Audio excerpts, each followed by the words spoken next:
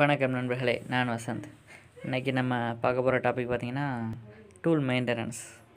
tool maintenance பற்றி ஐஏடிஎஃப்பில் எங்கே சொல்கிறாங்க என்ன சொல்கிறாங்க அப்படின்ட்டு இன்றைக்கி பார்க்க போகிறோம் அண்டு லாஸ்ட் டைம் நான் வந்து அந்த ரீட் பண்ணி ரீட் பண்ணி அதில் உள்ளதை அப்படியே ட்ரான்ஸ்லேட் பண்ணும்போது நிறைய பேருக்கு புரிய மாட்டேங்குது ஸோ அதனால் என்ன பண்ணுறேன்னா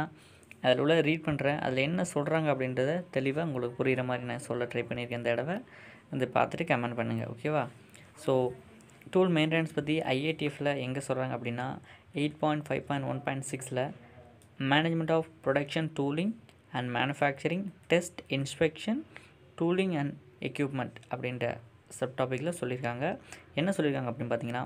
the organisations are provide resources for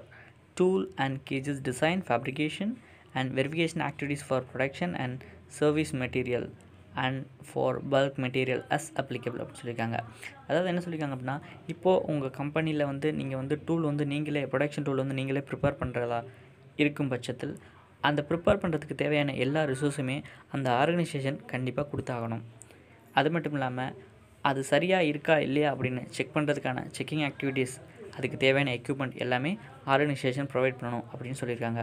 அடுத்த point the organisations are establish and implement system for production tooling management, whether owned by the organisation or customer including this point அப்படின்னு சொல்லி கீழே சில பாயிண்ட் கொடுத்துருக்காங்க என்ன சொல்லியிருக்காங்க அப்படின்னா இப்போ நீங்கள் வந்து உங்கள் ப்ரெஸ் டூல் வச்சுருக்கீங்க அப்படின்னு வச்சுங்களேன் ப்ரெஸ் டூல் வச்சு நீங்கள் ப்ரொடக்ஷன் பண்ணுறீங்க அப்படின்னா அப்படி பண்ணுறா இருந்தாலும் சரி உங்களுக்கு கஸ்டமர் டூல் கொடுத்து அதில் நீங்கள் ப்ரொடக்ஷன் பண்ணுறா இருந்தாலும் சரி எந்த டூல் வச்சுருந்தாலும் அதுக்கு கண்டிப்பாக மெயின்டெனன் ஆக்டிவிட்டி மெயின்டெனன்ஸ் ஆக்டிவிட்டி வந்து கம்ப் ஆர்கனைசேஷன் பண்ணி தான் ஆகணும் அப்படின்றது சொல்லியிருக்காங்க அதான் ஃபஸ்ட் பாயிண்ட் ஏழில் என்ன சொல்லியிருக்காங்க பார்த்தீங்கன்னா maintenance and repair facilities and personnel அப்படின்னு சொல்லியிருக்காங்க அதாவது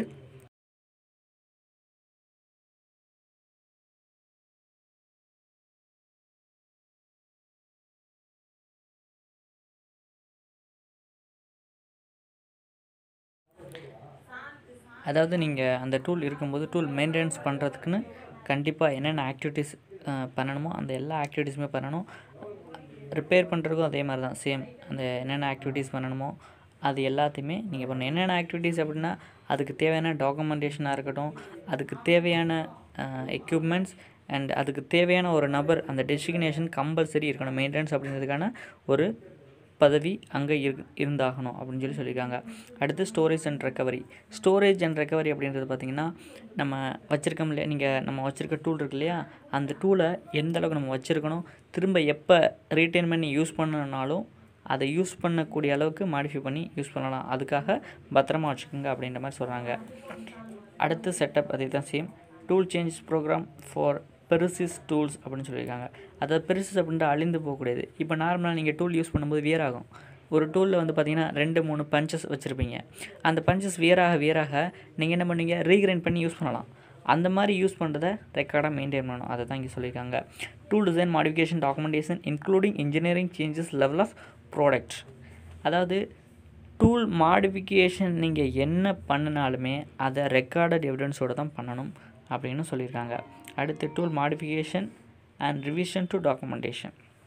இப்போ நீங்கள் ஒரு தடவை வந்து டூல் மாடிஃபை பண்ணுறீங்கன்னு வச்சுக்கோங்களேன் அதில் அந்த டூலுக்கான செக் பாயிண்ட் ஏதாவது வந்து விட்டு போயிருக்கும்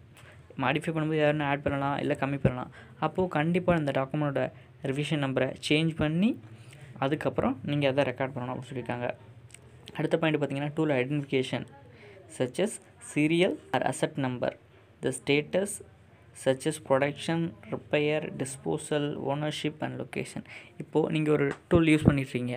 அந்த டூல் யூஸ் பண்ண இப்போ பார்த்தீங்கன்னா ஒவ்வொரு கம்பெனியும் பார்த்தீங்கன்னா ஒரு பத்து டூல் இருபது டூல் சில கம்பெனியில் நூறு நூற்றம்பது இருக்கும் ஆயிரம் ஐயாயிரம் அந்த மாதிரி கூட இருக்கும் ஆனால் எந்த பார்ட்டுக்குரிய டூல் அப்படின்னு நீங்கள் குரூப் பண்ணி வைக்கிறத விட ஐடென்டிஃபிகேஷன் நம்பர் கொடுத்து பிரித்து வைக்கிற பட்சத்தில் அதோடய ட்ரேசபிலிட்டி ரொம்ப ரொம்ப ஈஸியாக இருக்கும் அதனால் நீங்கள் வைக்கிற டூலுக்கு வந்து ஐடென்டிஃபை பண்ணி காமிங்க இன்னொரு விஷயம் ரெண்டாவது இன்னொன்று எதுக்கு ஐடென்டிஃபை பண்ணி காமிக்கணும்னா உங்களோட ஓன் டூலாக இருக்கும் சில சமயம் கஸ்டமரே டூல் கொடுத்துருப்பாங்க இது ரெண்டுக்குமான வித்தியாசத்தை நீங்கள் வந்து கலர் கோடு மூலமாகவோ அல்லது சீரியல் நம்பர் மூலமாகவோ இது எங்களோட டூலு இது கஸ்டமரோட டூலு அப்படின்றத பிரித்து காமிக்கணும் அடுத்து இதை தாண்டி என்னென்னா இதை பிரித்து காமிக்கிறீங்க இல்லையா கண்டிப்பாக கஸ்டமர் டூல் எல்லாத்தையும் ஒரு இடத்துல லொக்கேஷன் வைக்கிறீங்கன்னா இதெல்லாம் கஸ்டமர் டூல் அப்படின்னு சொல்லி தனி லொக்கேஷன் காமிங்க அடுத்து நம்ம டூல் டூல் ரேக் அப்படின்னு ஒன்று வச்சு டூல் ப்ரொவைட் பண்ணுறதுக்கான ஒரு லொக்கேஷன் கண்டிப்பாக வைக்கணும் இன்னொன்று எடுக்கக்கூடிய விதத்தில் வைக்கணும் நீங்கள் டூலை டூலை தூக்கி வெயிட்டான டூல் பூரா தூக்கி மேலே வச்சுட்டு வெயிட்டு கம்மியானது பூரா கீழே வச்சுட்டு இருந்தீங்கன்னா எப்போ அவன் தலையில் வந்து செத்து போயிடுவான் ஸோ அந்த மாதிரி இதெல்லாம் வந்து இல்லாத அளவுக்கு டூலை வந்து பாதுகாப்பாக வெயிட் கம்மியாக உள்ளதை மேலே வச்சு ஏன்னா அதுதான் ஈஸியாக எடுக்கலாம் வெயிட்டு ஜாஸ்தியாக உள்ளதெல்லாம் கீழே வைங்க வெயிட்டு கம்மியாக உள்ளது கொஞ்சம் மேலே வச்சு எடுக்கக்கூடிய அளவுக்கு வேணும் ஒரு லிமிட்டுக்கு மேலே ரொம்ப உயரத்துலையும் வைக்கக்கூடாது இந்த இதெல்லாம் பார்க்கணும் அப்படின்னு சொல்லி சொல்லியிருக்காங்க அடுத்து லாஸ்ட்டாக என்ன சொல்லியிருக்காங்கன்னா the organisations are verify that the customer own tools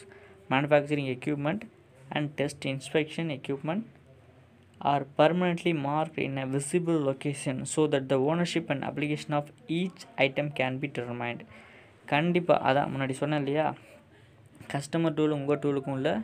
இதை வந்து ஐடென்டிஃபை பண்ணி பர்டிகுலர் லொக்கேஷனில் வைங்க இன்னொன்று நீங்கள் மார்க் பண்ணக்கூடியது பர்மனெண்ட்டாக தெரியணும்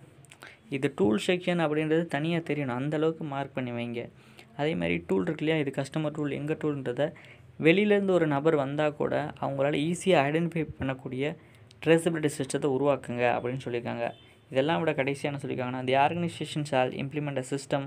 to monitor this activities if any work is outsource ஒரு வேலை உங்களோட டூலை கொடுத்து வெளியில் கொடுத்து நீங்கள் அவுட் சோர்ஸில் ஏதோ ஒன்று மாடிஃபை பண்ணி வாங்கினாலும் ஏதோ ஒரு ப்ராசஸ் பண்ணி வாங்கினாலும் கண்டிப்பாக உள்ளே வரும்போது அதுக்கான இன்ஸ்பெக்ஷன் ஆக்டிவிட்டீஸ் மட்டும் இல்லாமல் இதுக்கு மேலே என்னென்ன ஆக்டிவிட்டீஸ்லாம் பண்ணியிருக்கீங்களோ அது எல்லாத்தையுமே பண்ணணும் அப்படின்னு சொல்லியிருக்காங்க இது போக ஸோ வெளியில் வந்து ஒரு டூல் கொடுத்து நீங்கள் வாங்குறீங்க அப்படின்ற பட்சத்தில் கண்டிப்பாக அந்த டூல் உள்ளே வரும்போது அந்த டூலுக்கான ட்ராயிங் ப்ளஸ் அதுக்கான இன்ஸ்பெக்ஷன் கம்பல்சரி முடிச்சிடணும் ஏன்னா நீங்கள் பாட்டுக்கு ஒன்று கொடுத்து ஒரு பஞ்சோ ஏதோ பண்ணி வாங்குறீங்க அப்படி இல்லை வேறு ஏதாவது சேஞ்ச் பண்ணி வாங்குறீங்க ட்ராயிங் இல்லை அப்படின்ற பட்சத்தில் நீங்கள் கொடுத்துருக்க ஸ்பெக்கில் தான் அவன் டூல் பண்ணி கொடுத்துருக்கானே தெரியாது சில சமயம் வந்து வேறு ஒருத்தனுக்கு கொடுத்த டூலை கூட உங்களுக்கு மாற்றி கொடுத்துடலாம் ஸோ இந்த மாதிரிலாம் நடக்க வாய்ப்பு இருக்கனால எந்த ஒரு டூலை வெளியில் கொடுத்து வாங்கினாலும் அதுக்கான இன்ஸ்பெக்ஷன் கண்டிப்பாக பண்ணி ஆகணும் இன்னொன்று compulsory tool maintenance is must நீங்கள் எங்கேருந்து கஸ்டமர்லேருந்து வாங்கினாலும் சரி நீங்கள் ஓன் பண்ணாலும் சரி டூல் மெயின்டெனன்ஸ் கண்டிப்பாக பண்ணி ஆக வேண்டும் ஸோ இது வரைக்கும் சொன்னது புரிஞ்சுக்கணும்னு நினைக்கிறேன் நம்புகிறேன் ஸோ இதை பற்றி ஏதாவது கமெண்ட்ஸ் ஏதாவது கிளாரிஃபிகேஷன் இருந்தால் கமெண்ட் பண்ணுங்கள் கண்டிப்பாக கிளாரிஃபை பண்ணுறேன் அண்ட் தேங்க்யூ